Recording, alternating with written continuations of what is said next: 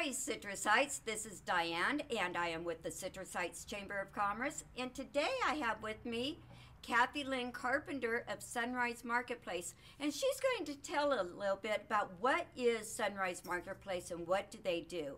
Welcome, Kathy Lynn. Thank you, Diane. Thanks for having us, and thanks for coming to our grand opening and holiday open house.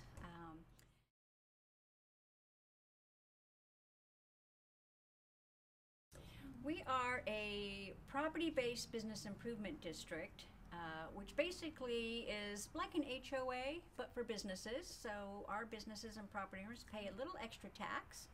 Uh, we collect that and we provide services, marketing, uh, economic development, uh, security and maintenance, and other programs. So the city has a program called Love Local, and are your businesses participating in that? A lot of them. We do promote the Love Local, um, send it out. Uh, we do uh, communicate with our businesses very regular via newsletter, or sometimes we distribute things physically. Uh, so we absolutely support that. Uh, our district is about 90, about 94 percent retail and restaurant. So of course, shopping local, and our Citrus Heights residents are very important to our success. Wonderful. For those of you that don't know what Shop Local is, it's where we try to get you, our customers, to shop here local in Citrus Heights.